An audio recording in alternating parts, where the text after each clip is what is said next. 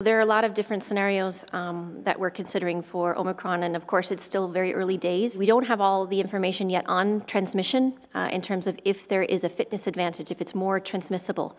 Um, there is some suggestion of that, but again, it's early days. We expect to have more information on transmission um, within days, not necessarily weeks, but in days.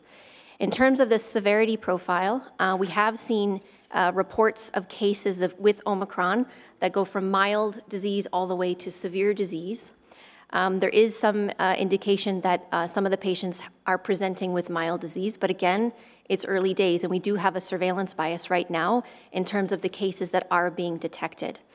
Um, there is also a suggestion of increased hospitalizations across South Africa, but that could be a factor of the, of the sheer fact that we have more cases. And if you have more cases, you'll have more hospitalizations. It is certainly possible that one of the scenarios is that the virus, as it continues to evolve, may still have a fitness advantage, meaning that it could become more transmissible. Um, more transmissible than Delta, we'll have to see. Um, but we don't know quite yet about the severity. The more this virus circulates, the more infections there will be. The more infections there will be, the more people will die. And this is something that can be prevented.